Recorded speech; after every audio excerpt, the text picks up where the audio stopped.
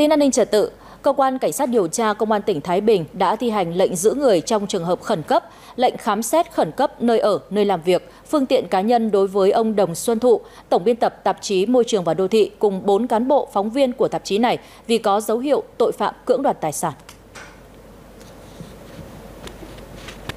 Được biết, tạp chí điện tử Môi trường và Đô thị Việt Nam là cơ quan ngôn luận của Hiệp hội Môi trường Đô thị và Khu công nghiệp Việt Nam do ông Đồng Xuân Thụ làm tổng biên tập.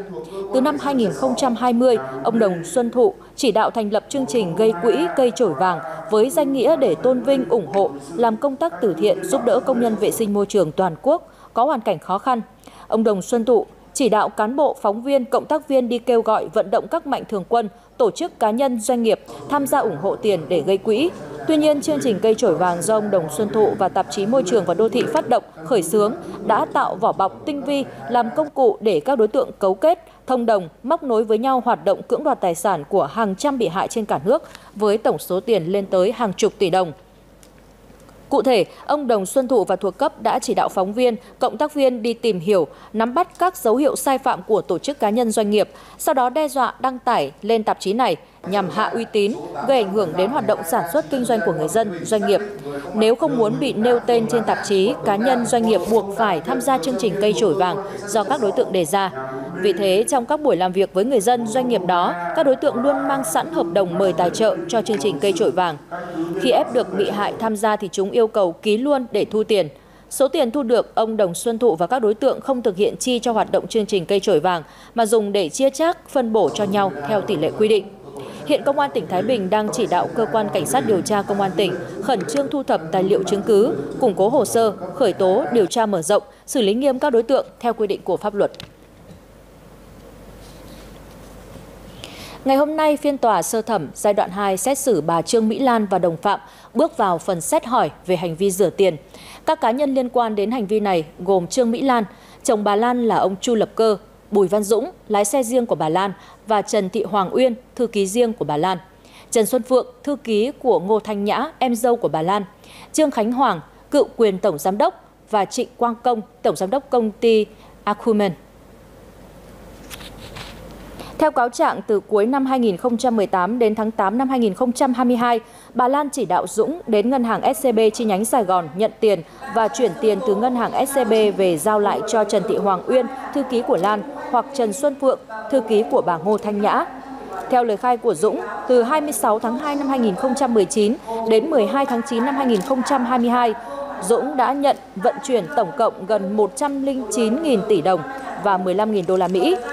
Tại tòa, Uyên khai mình giúp việc cho nhà bà Lan. Từ tháng 3 năm 2019 đến tháng 8 năm 2022, Uyên đã nhận tiền từ Bùi Văn Dũng với tổng số tiền 5.824 tỷ đồng và chuyển tiền cho các cá nhân khác theo sự chỉ đạo của bà Lan.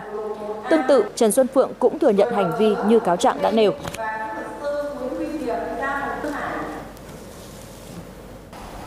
Sau nửa ngày xét xử vào trưa ngày 25 tháng 9, Tòa án Nhân dân cấp cao tại Hà Nội đã chấp nhận kháng cáo của bị cáo Đỗ Anh Dũng, Chủ tịch Tập đoàn Tân Hoàng Minh. Tòa tuyên giảm án cho ông Dũng từ 8 năm còn 7 năm tù về tội lừa đảo chiếm đoạt tài sản.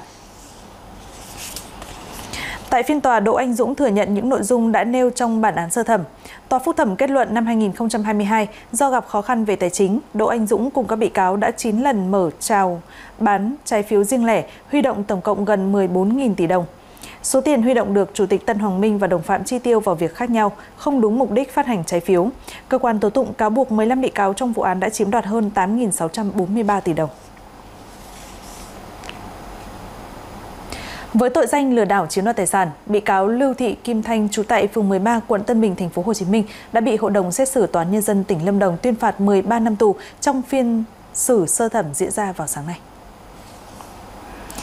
Biết vợ chồng ông Nguyễn Viết Xuân ở thành phố Bảo Lộc, tỉnh Lâm Đồng có thửa đất nông nghiệp muốn chuyển đổi thành đất thổ cư, Lưu Thị Kim Thanh đã đánh tiếng có thể lo liệu với chi phí 800 triệu. Sau khi nhận 800 triệu chi phí cộng với 35 triệu tiền đi lại, đến hạn Thanh thừa nhận với nạn nhân không thể chuyển đổi mục đích lô đất nhưng cũng không còn khả năng trả lại tiền cho vợ chồng ông Xuân. Đối tượng bị nạn nhân tố cáo lên cơ quan công an.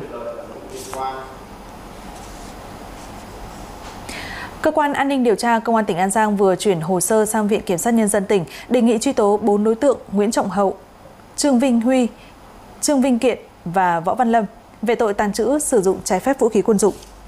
Qua mạng xã hội, Huy mua khẩu súng Rulo và 19 viên đạn với giá 6 triệu 500 nghìn đồng, sau đó cùng Kiện đi bắn thử, quay clip khoe bạn bè. Hậu là bạn Kiện đã mượn súng cất giấu tại nhà. Vào tối ngày 17 tháng 3 năm 2024, Lâm gặp Hậu mượn súng để đi giải quyết mâu thuẫn thì bị công an thành phố Long Xuyên phát hiện bắt giữ cùng tăng vật. Biết hành vi phạm tội của mình, Huy, Kiện và Hậu đến cơ quan công an đầu thú. Một điểm đánh bạc trái phép với hình thức đá gà qua mạng Internet ăn thua bằng tiền tại quán giải khát trên địa bàn xã Vĩnh Xuân, huyện Trà Ôn đã bị Công an tỉnh Vĩnh Long ập vào bắt quả tang vào lúc 13 giờ chiều nay. Tại hiện trường, tổ công tác tạm giữ 12 đối tượng có liên quan và tạm giữ tăng vật phương tiện tại hiện trường gồm 14 điện thoại di động, 5 xe mô tô, 1 xe đạp điện và tổng số tiền 32 triệu 040 ngàn đồng. Cơ quan công an đang hoàn thiện hồ sơ xử lý các đối tượng. Kính thưa quý vị, Công an thành phố Hồ Chí Minh đã khởi tố Nguyễn Thị Hường và Trần Văn Linh vì có hành vi rải truyền đơn có nội dung kích động tuần hành, gây rối an ninh trật tự trong dịp lễ Quốc khánh ngày 2 tháng 9 nhằm mục đích lật đổ chính quyền nhân dân theo sự chỉ đạo của tổ chức khủng bố Chính phủ Quốc gia Việt Nam lâm thời. Qua theo dõi, công an đã bắt quả tang bị can Hường đang chuẩn bị rải truyền đơn có nội dung kích động tuần hành, gây rối an ninh trật tự trong dịp lễ Quốc khánh nhằm mục đích lật đổ nhà nước theo sự chỉ đạo của tổ chức khủng bố Chính phủ Quốc gia Việt Nam lâm thời do Đào Minh Quân ở Mỹ cầm đầu. Khám xét nơi ở của bị can Hường, công an thu giữ 1.000 tờ truyền đơn cùng nhiều phương tiện như máy tính, máy in màu điện thoại và các tăng vật chứng khác liên quan hoạt động vi phạm pháp luật. Mở rộng điều tra, công an triệu tập Trần Văn Linh. Cơ quan công an xác định Trần Văn Linh là đồng phạm của Nguyễn Thị Hường, có nhiệm vụ thực hiện khảo sát các địa điểm đông người trên địa bàn thành phố Hồ Chí Minh như công viên, trường học, bệnh viện để chuẩn bị thực hiện việc dán rã truyền đơn theo chỉ đạo của số đối tượng cầm đầu tổ chức khủng bố, Chính phủ Quốc gia Việt Nam lâm thời. Hiện cơ quan an ninh điều tra công an thành phố Hồ Chí Minh và các đơn vị nghiệp vụ mở rộng điều tra các đối tượng có liên quan hoạt động nhằm lật đổ chính quyền nhân dân nói trên. Kết thúc phiên xét xử sơ thẩm, Tòa án Nhân dân tỉnh Cà Mau tuyên phạt bị cáo Bùi Vũ Khoa sinh năm 2000, ngụ thị xã Giá Rai, tỉnh Bạc Liêu với mức án tử hình về tội giết người và cướp tài sản. Về trách nhiệm dân sự, hội đồng xét xử buộc bị cáo bồi thường cho gia đình bị hại hơn 721 triệu đồng. Trước đó, bị cáo Khoa đã gây ra thảm án trước đoạt mạng sống của nhiều người ở Cà Mau. Theo cáo trạng, Khoa sống như vợ chồng với một người phụ nữ sinh năm 1985 tại nhà của cha mẹ ruột tại xã Thạnh Phú, huyện Cái Nước, tỉnh Cà Mau từ tháng 11 năm 2019. Sau thời gian chung sống với Khoa, thì người phụ nữ mang thai. Do cả hai không có việc làm nên thường xuyên bị mẹ cằn nhằn rầy la. Từ đó, người phụ nữ đã sinh ý định tự tử. Thế hai vợ chồng bị xúc phạm nên Khoa đã sinh ra ý định giết vợ mình rồi tự sát để giải thoát cho nhau. Khoảng 7 giờ ngày 26 tháng 11 năm 2023, Khoa dùng tay bóp cổ vợ mình cho đến khi tử vong rồi tạo hiện trường giả giống như nạn nhân đang nằm ngủ Thay vì tự sát như ý định trước đó, thì Khoa lại muốn giết ba mẹ vợ để thỏa lòng thù hận. Đến khoảng 16 giờ cùng ngày, Khoa tiếp tục ra tay sát hại mẹ vợ bằng cách dùng tay siết cổ bà đến chết. Rồi các thi thể nạn nhân xuống ao nước phía sau nhà, còn mình thì ung dung ra võng nằm. Không lâu sau đó, Khoa dùng cây búa chai củi đánh vừa dùng đầu của ba vợ bất tỉnh và ngã gục xuống nền nhà. Nghĩ cho vợ đã tử vong nên Khoa mang tăng vật gây án vứt xuống ao nước cạnh nhà, rồi lấy hàng chục triệu đồng của gia đình nạn nhân bỏ vào cốp xe máy. Không lâu sau, phát hiện ba vợ mình tỉnh lại bị cáo tiếp tục dùng dao khúc cây, đánh và đâm nạn nhân cho đến khi tử vong. Gây án xong, khoa điều khiển xe máy rời khỏi hiện trường. Bằng các biện pháp nghiệp vụ, lực lượng làm nhiệm vụ đã bắt giữ khoa ngay sau đó. Đội cảnh sát điều tra tội phạm về kinh tế, ma túy, cơ quan cảnh sát điều tra công an thành phố Bà Rịa, tỉnh Bà Rịa Vũng Tàu đã thi hành lệnh bắt bị can để tạm giam đối tượng Phạm Hồng Trung, sinh năm 1993, trú tại phường Kim Dinh, thành phố Bà Rịa, tỉnh Bà Rịa Vũng Tàu về tội vi phạm quy định về khai thác, bảo vệ rừng và lâm sản. Trước đó vào ngày 22 tháng 7, tại phường Kim Dinh, thành phố Bà Rịa, đội cảnh sát điều tra tội phạm về kinh tế ma túy công an thành phố Bà Rịa phối hợp công an phường Kim Dinh, ban quản lý rừng phòng hộ tỉnh Bà Rịa Vũng Tàu và hạt kiểm lâm liên huyện Châu Đức Bà Rịa bắt quả tang đối tượng Phạm Hồng Trung đang có hành vi tàn trữ một cây gỗ cẩm lai, thể tích là 0,024 mét khối và một cây gỗ dán hương quả to, thể tích là 0,037 mét khối. Đây là các loại cây thuộc danh mục thực vật rừng, động vật rừng nguy cấp quý hiếm, có nguy cơ bị đe dọa tuyệt chủng nếu không được quản lý chặt chẽ, hạn chế khai thác sử dụng.